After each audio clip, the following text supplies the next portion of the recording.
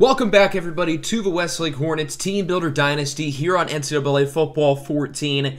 Today, we continue our long term sim here to finish out the series. Last season, which was season 18, ended up being a very successful one. We went undefeated in the regular season, barely beat Cal in the Pac 12 championship, and then dominated against the Oklahoma Sooners in the national championship game to give us our sixth national championship victory in school history. The senior quarterback, Anthony Cortez III, had a very strong final game as a Hornet, and the defense was really impressive against a very talented Oklahoma offense. Our first five national championship wins were all very close for the most part, but this one was an absolute rout from the start. I do want to take a brief look at the stats just so you guys can get a reminder of what happened last season. I went more in depth over the stats at the end of last episode, but just as a reminder, here's a look at how the team did. Certainly one of our most successful seasons yet, going undefeated in the regular season, then, of course, winning a national title. So we're going to get right on into the offseason. In today's episode, it'll be formatted similar to the past few, in which we'll cover the offseason, the preseason, the regular season, and the postseason. We're going to do all of that within a 30 or so minute span. Coach Mason Conway would get a contract extension from the school, a six year extension very well deserved for Coach Mason Conway, who has led this team to six national championship victories in 18 seasons. Pretty impressive for a new football program who had never played football before the start of this series. We have a new offensive coordinator. His name is Junior Adams. Our previous offensive coordinator, Brett Brennan, left for a new job. He is now the head coach at Michigan. That's a big time position. So, congratulations to Brett Brennan. Very well deserved. He's going to be coaching one of the premier programs in the nation, even if they haven't, you know, won a ton of games as of recent. Going into the players leaving stage, we have a very big and impactful senior class, and we have a lot of talented draft eligible players, and we got hit pretty hard a lot of key guys declaring early. Derek Davis wants to transfer, and then, of course, an absolutely loaded senior class. So we have, what is that, seven players declaring early, including defensive lineman Slavko Savic, who would have had a bigger role this year. He did have a pretty big role last year, was pretty good at 20 tackles for loss. Antonio Osborne, that's a big loss. He had 89 pancakes in the past two years. That is a lot. So it sucks he's leaving. Joko Unwosu, the three-year starter, he kind of has been quiet the past couple of years, had his statistically worst season this year as a junior, but he's definitely an NFL talent. Randy Powell, talented inside corner. I think he would have had a bigger role this year had he stuck around. Ocho Cinco, Chad Johnson will also be declaring he actually never caught a pass, but he probably would have been wide receiver four or five this year, so he would have been able to make an impact. Foyet Akibola kind of caught me off guard. He was the main complimentary back, along with Tazewell Hubbard. Had a pretty good season 10 touchdowns, 770 yards, over 1,000 yards from scrimmage.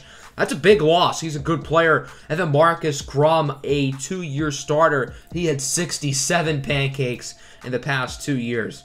Derek Davis also wants to transfer. That's a pretty big loss, but we do have a lot of young talent at outside linebacker, so that's not the, the end of the world.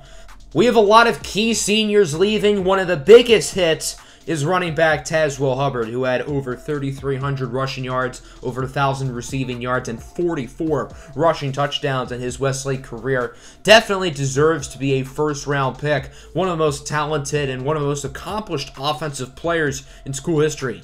Damian Rose will be leaving as well. Only was a one-year starter, but he is a very talented player. Had seven receiving touchdowns this past season on around 500 yards. Damian Purcell had a very unique Westlake career. He played a lot of quarterback early on. He was a high school quarterback. Threw the ball a little bit too often in this series. Wasn't always the most consistent there. But this past year as a receiver, he was really impressive with nine receiving touchdowns. He made the All Pac 12 first team this past season. Although he only caught four passes in his first three seasons, he was really good as a senior. Jabari Achebe had a very weird career. His sack numbers declined every season of his career, but he's super talented and well deserving of a first round pick. I think if we had gotten to use him the final two seasons of the series, he could have been one of the most accomplished pass rushers in school history. Jacob Williams, first round. What a story.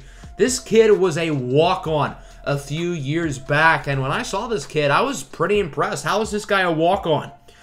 He only really started this past season, but he was maybe the best defensive lineman in college football. 22 tackles for loss, five and a half sacks. Without a doubt, the best walk-on in school history. He absolutely deserves to be a first-round pick. Gordon Waters Key, a four-year starter, did a little bit of everything. He was productive in the run game, could get to the quarterback, only one interception. But he's going to be a second round pick. I think he was a really talented collegiate player, and I think he's going to be a good pro. We have three players going undrafted, including linebacker Edwin Jadiri, who was fine the past two seasons of his career, kind of used as our fourth linebacker. And then the other two players going undrafted, they have no business not getting picked. Anthony Cortez III at quarterback. I think he's the greatest Westlake quarterback of all time. And I know that's a crazy statement. I know there's Champ Britton, Peyton Curtis, Stephen Westwood, arguably Keith Fleming in that conversation. This past season was one of the greatest by a Westlake quarterback of all time. And Anthony Cortez started in three national championship victories. No other Westlake quarterback can say they've started in more than one national championship win. So I really think he is the greatest quarterback in Westlake history. I'm not surprised he's getting undrafted because he is smaller, but he absolutely deserves to be a first round pick. Lubertz Roy getting undrafted really surprises me. He's not that small, 6'3", 220. That's big for a middle linebacker. Obviously, he has the talent and the ratings to back him up. One of my favorite players to use in this series. His numbers weren't super impressive the final two seasons, but he is such a good player. One of my personal favorite Westlake defensive players of all time. He's going to be a first round pick. I don't know why it says undrafted. But once these guys are imported into the Madden class, like AC3 and Lou Burt's Roy, they're probably going to be first or second round picks. Jill Kilpatrick, the former Westlake Hornet, ends up going in the first round. Had a very solid career at NC State this past season. Had a career high 29 touchdowns and was pretty efficient. And then another former Westlake quarterback, CC Vaughn, ends up going undrafted. Again, this doesn't really surprise me because he's not the biggest, 6 foot 190, but he should get picked.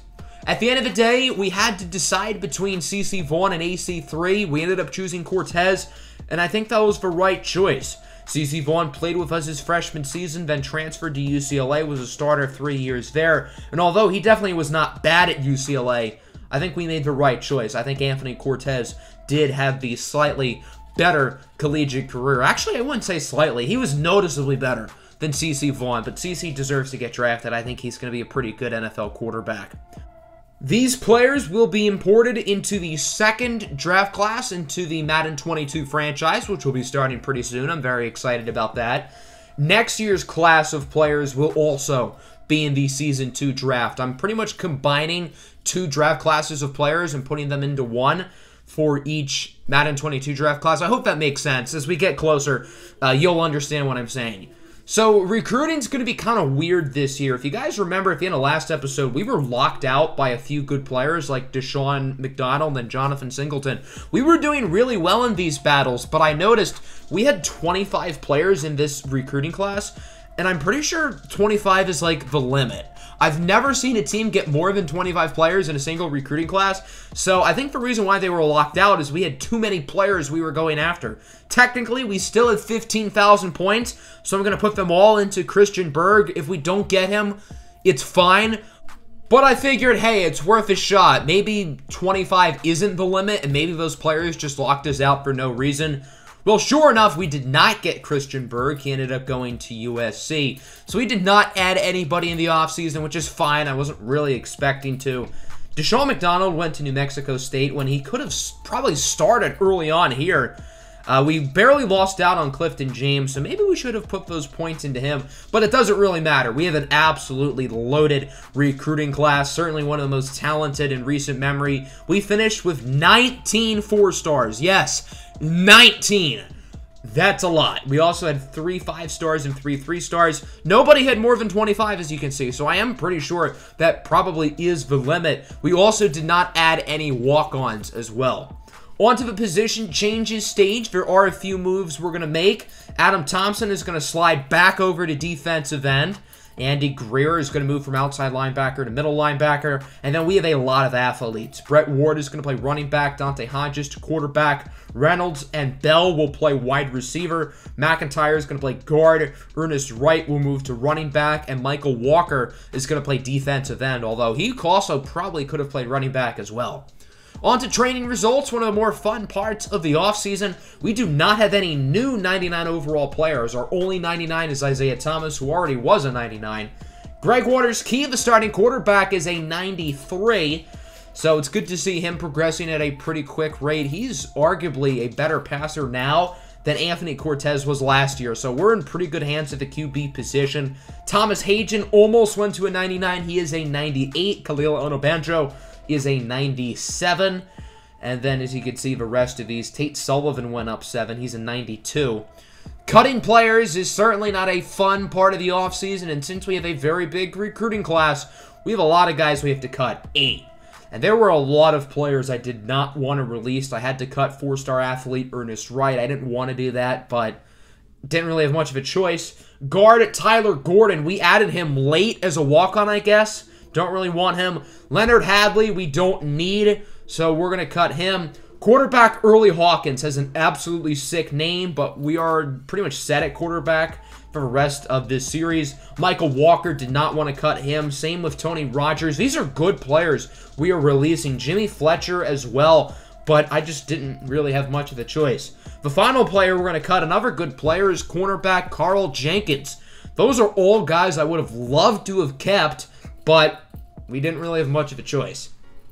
So now we are into the preseason. We're going to be redshirting all of our true freshmen. None of those guys are going to be starters, so I figure we might as well save an extra year of eligibility. Here is the depth chart. Greg Waters Key will be the starting quarterback. The main running backs will be Adam Rutledge and Malik Bostic II. Our offensive line is very young. The defensive line, too. Three of our four starters are freshmen, and Brandon Burks, Deshaun Yates, and James Jackson. The secondary has a lot of veterans, though, so hopefully our secondary can use their experience and talent to their advantage. And then looking at the custom schedule, our non-conference opponents are Utah State, Illinois, Penn State, and San Jose State. So two tough Big Ten teams in Illinois and Penn State. On to recruiting. I forgot to add players in the preseason, so I did not scout any of them. So yeah, I guess that kind of adds a challenge, which we kind of need because recruiting the past couple of years has been too easy. We are going to be offering players who are first scholarships, hoping that they insta-commit. Last year, we got really lucky. This year, we have not. There we go. Offensive tackle Billy Bird, who is a 73 overall. That's a pretty good get. I do want some more depth on the offensive line, even though it is already very young. But yeah, we are not getting lucky at all with the insta-commits this year. And last year, we got so many. Luckily, we would add one more in Ryan Lilly, an athlete who is a gem. He's about 6'2", 260, probably going to be an offensive lineman, but he could also play receiver. He has good receiving stats. It would be kind of fun to see a 6'2", 260-pound wide receiver. This is how we're going to be allocating our points to start the season. I will show you guys a recruiting update as we reach the mid-season point. And that's where we are going to sim up to. Unless there's any funny business, I will meet you guys after the Penn State game. And we started off well. We won our first five games, but unfortunately, we actually lost to Penn State at Happy Valley, 27 to 17. So we are now 5 and 1, number 8 in the country. Our national championship hopes are definitely not dead, but it's going to be a challenge. Our first five wins were all pretty much blowouts with the exception of the Stanford game. We have three more ranked opponents, so it's going to be pretty tough. But if we can win out and play a team like Cal or USC in the conference championship and beat them, we could certainly get into the national championship game if things go our way. This has been a weird season for us offensively. Greg Waters' key has been pretty good, although he has not completed 50% of his passes. The run game has been kind of disappointing, though. It's been super inconsistent. Adam Rutledge and Malik Bostic II have both played pretty well. It's not their fault. but we just have not consistently ran the ball. This team is led by the defense, specifically as I expected the secondary. Khalil Onabanjo's been the best cornerback in college football this year. He already has four interceptions. And recruiting this year has been really good. We've added a lot of depth to the secondary, the offensive line, and the defensive line, which is three spots that I really wanted to focus on. We're going to simulate our next three games. Pretty tough stretch against Utah, Oregon, and Washington, and we would win all three of them. And we have jumped up to number four. The only teams ahead of us are Army, Texas, and Virginia Tech. So there's definitely a world where we jump into the top two, but we're going to have to win our final three regular season games. We're going to have to win the conference championship as well. Our final three games aren't too bad. BYU is kind of tough. I did not talk about Isaiah Thomas earlier, but he is currently first in the Biletnikoff watch. He has been an absolute machine this year. He's the best receiver, maybe the best player in the entire country, if we're being honest. Going to simulate the rest of a regular season. We ended up scoring 72 against San Jose State. I knew we were going to blow them out, but I wasn't really expecting that. So we did win our final three games. We're now 11 and 1. We barely beat BYU in overtime, but hey, a win's a win. So the top 25 is very interesting, as you can see. Army and Texas are the top two. They are undefeated. We are three. Our opponent, Cal, is four. So we need to beat Cal, and we need Army to lose to Virginia Tech or Texas to lose to Oklahoma. Herbstreit is rocking with us. We're going to simcast this game, and we need to win in order to survive. It's going to be a pretty tough task, but I think our defense has been the best in the nation. Cal's rushing attack is really good. They lead all of college football in rushing yards per game. So it's going to be tough. Two really, really good teams. And there's a really strong chance the winner of this game makes the national title. I don't think either of us would jump Army or Texas if they both won, although it is possible. So we're going to need one of those two teams to lose in order for us to possibly make the national championship. But we can't really focus on them because those games are not in our control. We need to take care of business today. We need to beat Cal, and we need to put fate in our own hands if we want to make this year's national title game. Cal is going to choose Tails. Tails never fails. They win the toss. They will start on defense. So we are going to simcast by quarter. I certainly would love to set the tone here on offense on this first drive, but both offenses started this game off kind of slowly. Not a lot of early action. Eventually, Cal would march down the field and score a touchdown. We would answer right back, however, a touchdown for Tyler Anderson to tie it at seven and that would conclude the first quarter. Cal is marching on the doorstep, and they would answer with a touchdown of their own. So the Golden Bears are back up 14 to 7. Our offense has not been overly impressive in this game as Cal would add a field goal. They now lead by 10, and then Ben Jones would tack on a field goal to end the first half. So we're only down by 7. Certainly uh, far from out of this game, and then we would end up tying it. But Cal quickly scores a touchdown back. It's now 24-17 to conclude the third quarter. But we do have the ball. We are moving it down the field pretty nicely, and we would score a touchdown to tie it up at 24. Cal gets it back, and it would be an interception for Andy Keefe inside the 50-yard line. A huge turnover, but sure enough, we would not score. By the way, look at the bottom. Oklahoma has defeated Texas. So the winner of this game will make the national title. Cal drives down the field and scores. It's now 31 to 24. I decided to hop in. A couple years ago, we were in a similar situation against USC in the Pac-12 championship. I did not hop in. We lost, and I regretted it. I did not want to make the same mistake here. There's a nice grab by Dominic Porter. Westlake already passed the 50. Tough throw for Tommy Taco, the converted running back to tight end, who gets a gain of 13. Taco's been a little bit banged up this year with injuries, but he's healthy today, and he makes a big catch. Waters Key now up the middle for maybe not just the best receiver, but maybe the best player in college football this season, Isaiah Thomas III for the first down. Westlake is really moving the ball well here, but I think they don't want to give Cal too much time on the clock. But the top priority has to be scoring a touchdown. And that is exactly what's going to happen. Tyler Anderson for six. And the Westlake Hornets will tie it up. Cal still has plenty of time. They have about a minute-ish, a little bit over, to drive down the field and possibly win this game and put themselves in the national title. There is a wide open throw for Cam Rogers. That was bad coverage by Khalil Onabanjo. And I don't want to harp on him too much because Onabanjo has been phenomenal this season, but that was a bad play. There is a wide open Stephen Cantrell on the out route for a gain of eight. So far, Cal's offense is having no issues moving it down the field. Westlake's defense has been so good this year, but today, they really have, for the most part, not shown up. Ty Murphy on first down, about 50 seconds to go, gets it over to Cam Rogers, who gains 16 yards, and Cal is definitely in field goal range now. So if you're Westlake, you just want them to score quickly or force a turnover, obviously. Loss of yards there. Nice play by the linebacker, Alex Rodriguez. No steroids needed for that play. That's going to be a loss of a yard.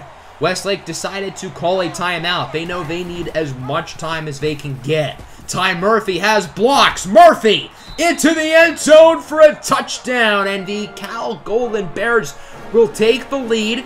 Now, Westlake still has a decent amount of time, and they have two timeouts. So this game is not over, but I'd be lying if I said the Hornets were not in trouble. A major opportunity and a, maybe the most important drive in the young career of redshirt sophomore Greg Waters Key. Let's see what he can do. About 40 seconds to go on first down. Waters Key on the run with a strike! What a throw for Dominic Porter, who gets the first down. One of the biggest throws in the career of Greg Waters Key on the run, threading the needle. That was a risky throw. If he underthrows that, interception, ball game over. So Westlake's going to keep the drive moving. Now around 20 seconds to go. Waters Key gonna scramble with it. He puts Westlake now into the red zone. Field goal means nothing though. The Hornets are looking for a touchdown. Now down to 12 seconds. Hornets still have both timeouts at their disposal, so time really is not much of an issue. Short throw for Theodore Williamson. Williamson is in! Touchdown, Westlake! And the Hornets will tie it at 38. Wow, what an ending to regulation here in this game. Cal's just going to run it with one final play. And Harris will gain around two. So that will do it for regulation. Tied at 38. We are going to overtime. The winner will advance to the national championship. And the loser, well, I mean, their season technically won't end. But they'll just be playing for pride. Westlake wins the toss. They're going to start on defense. So Cal will get the opening possession here in overtime. And we'll see what their offense can do. Westlake's defense has been really good this season, but Cal has certainly uh, really played well on this side of the ball. Third and 11, big first down conversion of a tight end. Kenneth Barker, the linebacker, really could have jumped that route, but he was unable to. Second and goal. Ty Murphy keeps it himself. Another rushing touchdown for the quarterback, Murphy. So Cal marches down the field. They score the touchdown, and now Westlake is going to need to answer back. Third and three. It's a handoff for Adam Rutledge, the junior. Rutledge with a big conversion. He brings it to around the six-yard line. And the Hornets are getting close to this end zone. If they score a touchdown, we will head to a double overtime. Taylor Tyler, the senior in motion. Handoff for Rutledge. We are tied again. Double overtime now here in the Pac-12 Championship. Big touchdown for Adam Rutledge. So Westlake will start with the ball in this second overtime. So now that their offense is in a groove, maybe they can score some more points. The Hornets ran it on every play of the first overtime, but they're going to start overtime number two with a pass. Risky throw for IT3, who makes the grab inside the 10-yard line. Big conversion for Thomas and the Hornets, and they now have it inside the 10, nearing the goal line. First and goal, Waters Key under a lot of pressure. Breaks the sack. Nearly broke another one. He did his best to get out of that one, but he could not. Third and goal now at the two. Hornets in the goal line set. Waters Key tosses it to his former high school teammate, Quantrez Davis, for the touchdown. That is Quantrez Davis's first career rushing attempt. I don't know why he has not gotten the ball yet. He's a really good player, really tough, physical power back, but oh well, Westlake drives down the field and scores. It's now 52-45, and now Cal has their backs against the wall. They need to score a touchdown. Murphy on first down. Deep ball, nearly intercepted. Right in the hands of Darsheen Brooks Jr., the junior corner. He really should have made a play on that ball. Second and 10 now for the Golden Bears. Very next play. Murphy trying to avenge the near interception.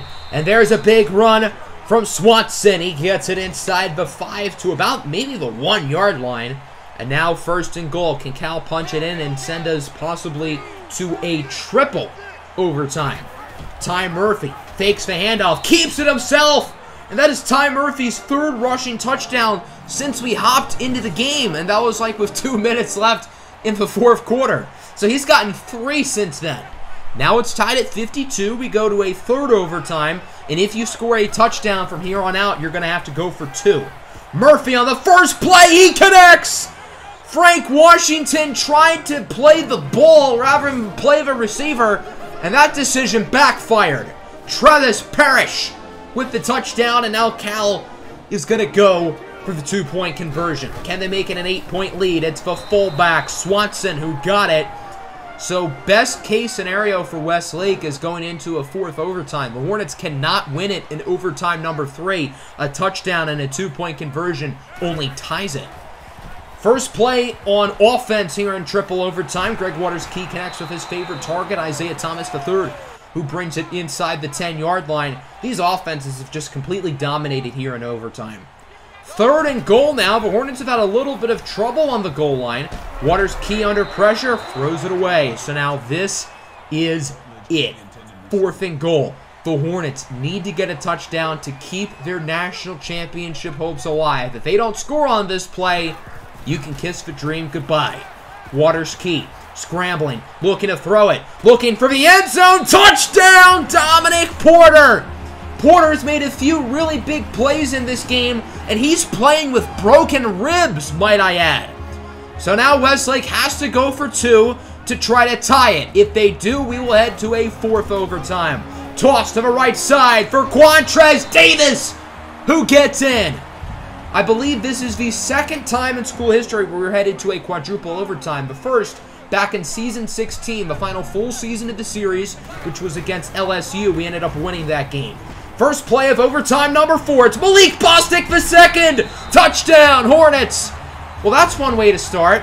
That's Bostic's first carry in all of overtime. I don't know why he didn't get the ball more. But hey, when he gets his number called, he makes it count. Westlake has to go for two again. Can they make it an eight-point lead? It's going to be another toss for Quantrez Davis, and he is stopped this time. So if Cal gets a touchdown and a two-point conversion, they can win the game. Touchdown and no two-point conversion ties it. Anything less is a loss. First play for Cal. Murphy looking to throw it. He is intercepted by Adam Keith. The ball game is over, and Westlake has won the Pac-12 championship in four overtimes. A huge turnover by Adam Keith, who had two interceptions in this game. Major shout out to the offense who in the four overtime periods scored four touchdowns. The defense was not great today. They allowed 60 points, but hey, a win is a win. This game was ranked as the number one ESPN Instant Classic throughout the entire series, by the way. Greg Waters, Key, and Adam Rutledge led the charge. Malik Bostic had a big play. Dominic Porter was phenomenal in this game. IT3 played really well. The defense, other than Adam Keefe, was pretty disappointing, but hey, at the end of the day, we won. That's really all that matters. So this means we will be going to the national championship unless the committee decides to, I don't know, be mean. Rueben Hines of USC wins the Heisman. He ran for 30 touchdowns. Isaiah Thomas well-deservedly wins the Biletnikoff Award. And we are indeed going to the national title game. We're going to be playing number one Army a rematch of the national championship game back in season 10, our first national championship win. They're led by quarterback Ruben Taylor and running back Andy Henderson. Kind of like with Oklahoma last year, this roster feels kind of underwhelming. I feel like Army has had way better teams that didn't get in. Army did win the national championship two years ago against Vanderbilt. We won it last year so I guess the last five national championship winners are all playing in this game because we had our three-peat, then Army won, and then we won last year. So I guess that's kind of cool. These have been the two best programs in college football, really, for the last decade, if we're being totally honest. Second time they're facing off in the national title game. This is the first time Westlake is having a national championship rematch. In Westlake's first, I guess, eight national championship games, they played against eight different teams. But now they're going to get an opportunity to face off against the Black Knights, who are number one in the nation, 13 0. Westlake had the best defense going into the conference championship week. Now they don't. Now they have like the second best defense. You know who's first? Army. So, just like the other bowl games, we're going to play the first drive on offense and the first drive on defense. I mainly do that to get a feel of the new team, but we literally just played like five or six drives with them, so I do already have a feel for them. But I did want to get to play another drive with these guys in the national title game. So Westlake will start on defense. We'll get to take a look at the Army offense. Hopefully Westlake's defense can play a little bit better than they did in the Pac-12 championship. First play from scrimmage, Ruben Taylor loses two. The redshirt freshman, Brandon Burke, brings him down. Nice play by Burke, a former high school athlete converted to defensive end. Third and 12 now. Taylor under pressure. Short throw is broken up by Ron Davis. So Westlake's defense forces a three and out, and they will now get it back on offense with an opportunity to drive down the field and get the first points of the game. The offense was phenomenal down the stretch in the Pac 12 championship. We'll see what they can do against Army. Greg Waters key on first down connects with the best receiver in the nation, Isaiah Thomas III, who gets it inside the 35. That's one way to start the drive off, if you ask me. Very next play now for the Hornets. Waters Key is joined by Malik Bostic the second in the backfield. Isaiah Thomas the third is the motion man, and it looks like it's going to be an option. Dear God. Waters Key tosses it for Thomas. Thomas. Oh my goodness, what a run by Isaiah Thomas, the third for a touchdown. That play was nasty. IT3 doing what he does best, finding the end zone. We got to look at that play again. I don't want to see Greg Waters key again because he didn't do anything special there. We got to see the that back juke. Jesus Christ, that is disrespectful. That's maybe one of the best plays in school history. Maybe that's a stretch, but that play was nasty. So we're going to sim out the rest of this game unless it gets super close at the end. Both offenses are having a little bit of trouble, but Army would get a last-second touchdown to end the first quarter, so it is tied at 7. Westlake marching down the field. Greg Waters key runs for a score, so we now take the lead 14 to 7. Now it's 21 to 7, and now look at this. We are dominating 28 to 7. What is happening? Army did score, but wow, what a second quarter for our Westlake Hornets. On to the third quarter. We'll see if we can keep the momentum rolling as we do add a field goal. Army moving down the field. They don't score. And we are still up by three possessions. A very comfortable lead. And we have the ball inside the red zone to start the fourth quarter. We would add another field goal. It's now 34 to 14, and it really does not look like Army can get back into this game. This is just an all-out blowout for the most part. Now 41-21. I wanted to play the final minutes of this game, final moments here of Westlake's, what, seventh national championship victory, I believe. Taylor up the middle, connects with B.J. Palmer. That play would give him the most receiving yards in a single season by any Army player ever. Army is steadily approaching the goal line. Now third and two. It's a toss for Andy Henderson, who does get the touchdown. So Army makes it a two-score game. But the Black Knights are not in a good spot. They need an onside kick, a touchdown, an onside kick, and another touchdown within the span of 36 seconds. The onside kick would be picked up by Dominic Porter.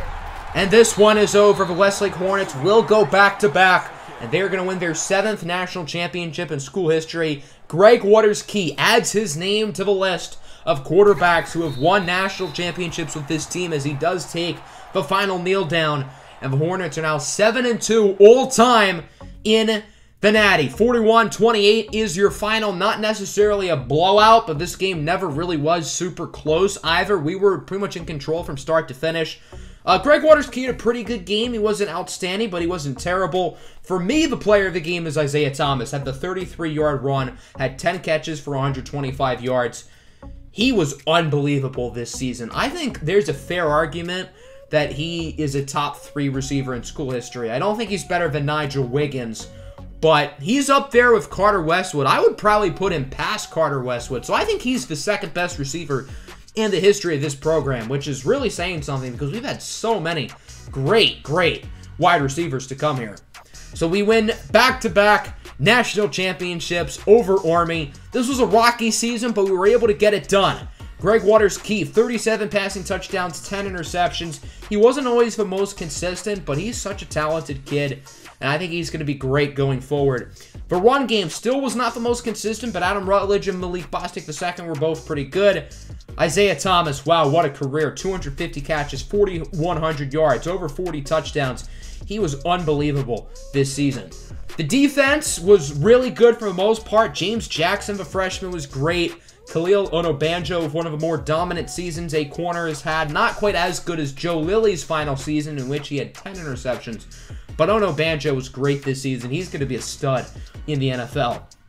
Let's take a look at the All Americans and award winners. On the All NCAA first team, of course, IT3. He had to be there along with James Jackson, Derek Berg, Kenneth Barker, and Khalil Onabanjo. On the second team, we had Brandon Daniels and Blake Wilson, and that was it. On the freshman team, Tyler Weber, Abdul Andrews, who was not a starter, uh, Lewis Palmer, Jackson Burke, Yates, King, and then on the All Pac 12 team, Greg Waters Key is the first team quarterback. He's joined by Isaiah Thomas, Daniels, Wilson, Jackson Burke, Hagen, Barker, Rodriguez, Onabanjo. I think one of the safeties made and then a few other guys. Here's the second team as well. So many All Americans we had. We only had one award winner, which was IT3, but we did have a lot of guys in the running for different awards, including Greg Waters Key. Uh, we had Onabanjo and Rodriguez very high for some of the defensive awards. James Jackson as well. Greg Waters Key was second on the Davy O'Brien. Second straight year, we finished second place for that award. Of course, of IT3, obviously won the Biletnikoff, very well deserved. Uh, Brandon Daniels finished pretty high on some awards, even though he didn't have that great of a season. He allowed like nine sacks, which is kind of a lot for a center. A few defensive linemen and linebackers in the awards, defensive backs as well. Khalil Onabanjo finished second. Shame he was not able to win that. Tate Sullivan did not win another Ray Guy. He finished sixth. And Taylor Tyler finished fourth for best returner. So that'll end today's episode. Hope you guys enjoyed another national championship victory for our Hornets. Three seasons down in the long-term sim, two to go. Next episode will be season number 20. So if you guys are excited, make sure to like and subscribe. Peace out.